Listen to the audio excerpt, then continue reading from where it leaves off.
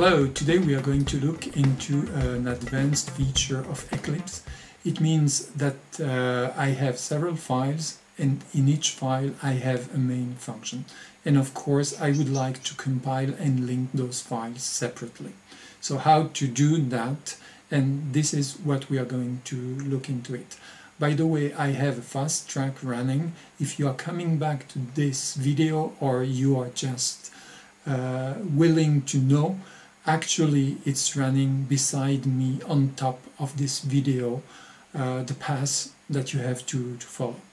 So in my case, what I have to do here, it's that I have here a first um, file which contains a main file. You see it here. I will show you in the same project I have a second file that also contains a main file. And I have a third which is the same situation. What I want to show you also is that in those files I have here a function which is called SumRunner that you find in one of the file and I have as well the same function but of course doing something differently in another file. So now if I compile the project or I build it, I will build the, the complete project to let you appreciate what will happen.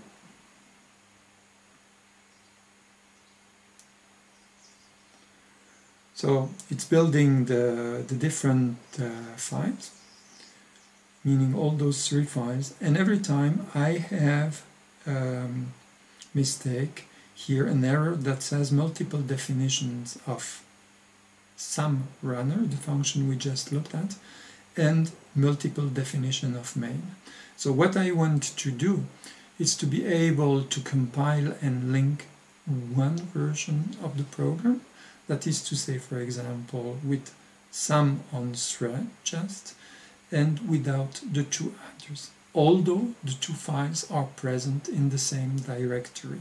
So how can I do this? This is what I'm going to show you now.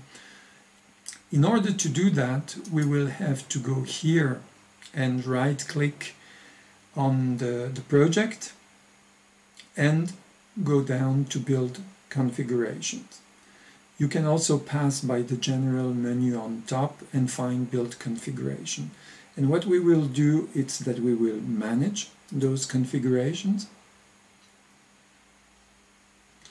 And you see we find the usual configuration by default that are debug and release. What I will do now is create a new one. I create that new one I will name it the name of the file that I want to compile and link which is some underscore on underscore thread. I won't put any description and I will take the existing configuration of debug. So for this I say OK. Here I say also OK. Now I will refresh the project and you see here that something appeared.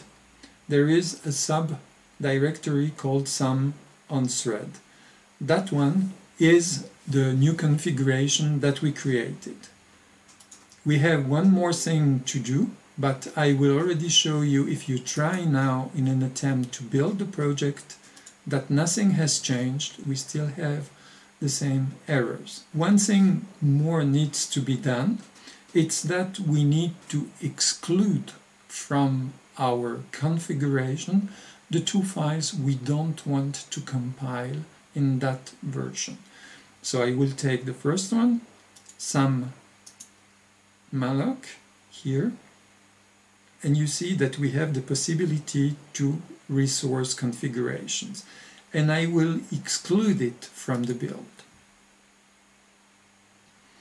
And it is asking me from which build do you want to exclude it. So I will say exclude object from build for the following configuration. And I say now OK. And I will do the same for the second file that I don't want in this build, which is sum on many threads. I go to resource configuration, exclude from build, and once again it's from the same build you see here and I say OK I will now refresh the project. I will also clean the project. One more step is now left to me. It's that I need to say that the active configuration that I want to use for this project is the one I just defined. So you see here there is the set active and I still have it on debug. So I will go on some on thread. I clean again the project to make sure I have everything fresh. I can now start a new build of the project. With that, we can see that everything was built into this project and as you can see here, it just took the file some on thread and here down all the other two files have disappeared from the compilation and from linking. So I can also just now go and run to make sure that the, the run is fine.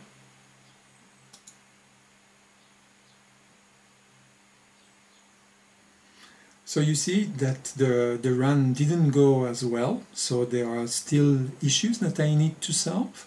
So I go up into run, and you will see that we have here down run configurations. So in my case, I'm doing development in a quite important project, so I have many configurations, so don't be afraid with all the configurations I have.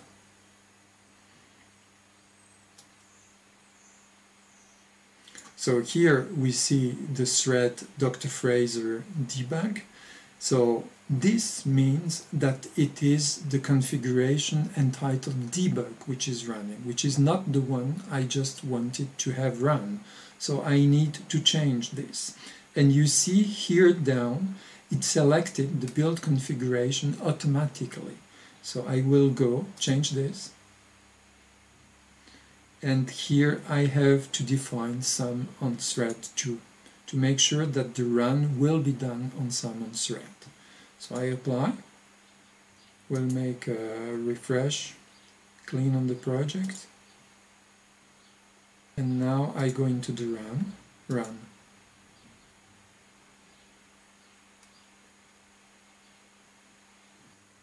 You could see, it couldn't run. You see that if we go back to the run configuration, we've said to build uh, with the correct configuration, but here up we will see other things. You see that the name of the project is quite fine here, and you see here down that the application that we intend to run is still into debug. So we have to change this.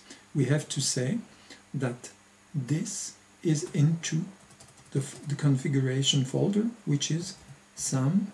We could also change the name here. Instead of being debug, it could be let's say apply now we will close this so you see here there is some on thread which is here and you see threads Dr. Fraser so this makes me think that maybe the run uh, I should title and title it threads Dr. Fraser so what we need to, to change it's the application because of course it was with debug. So I will give here the name of the correct application that is threads dash Dr. Fraser. You see that I have here the run which is not grayed out so I can apply and I can run. Okay, so it's uh, running, but I, I need to run in that case of that program to have some additional information because I need some arguments on this function and this is what is uh, missing in my definition. So I will give here some arguments, we'll say apply and now run and we'll see what happens. Okay, we will now do this also for another of those files like that will be complete in uh, our demo. So I take some on many threads for this I need to go into the build configuration again and I will build a specific configuration for that file. Again new some on many threads. It's exactly the same. I copy the debug configuration. Okay. We say OK here.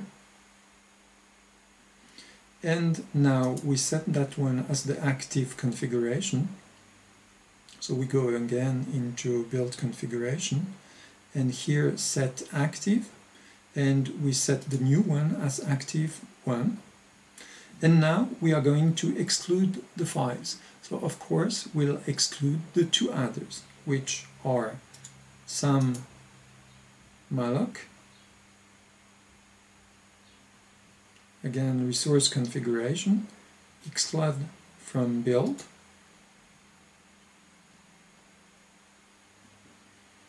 and it's not some on thread, it's some on many thread where we want to exclude it. So we can say OK and some on thread, that one, we are also going to exclude it from that configuration. So resource configuration, exclude from build. Some on many threads, and we say OK. So till that point we are good. So now we are going to build or attempt to build the, the project. So you see here it's compiling some on many threads and no more some on threads, which was the previous one. So this is fine, compilation was fine. What is left now is to go and change the run configuration. So we go into run.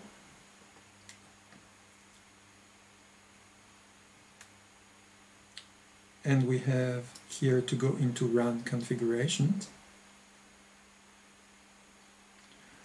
Now you see again the build is done on some on thread so this we want to change it some on many threads and we entitled this sum on. Thread and here as you see here was created another subdirectory since we created a new configuration sum on many threads. So here we add sum on many threads. Okay, so we've changed the application, the application, we've changed the name just to, to have it somewhere, and here we can now say apply. With that, we are going to attempt our first run and see what's happening.